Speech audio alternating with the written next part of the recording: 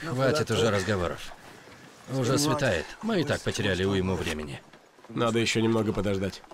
Подождать? Зачем? Просто ждите. Зачем? И слушайте.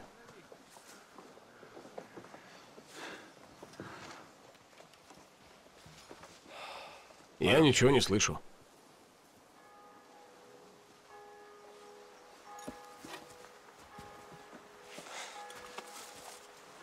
Ну и чего вы ждете?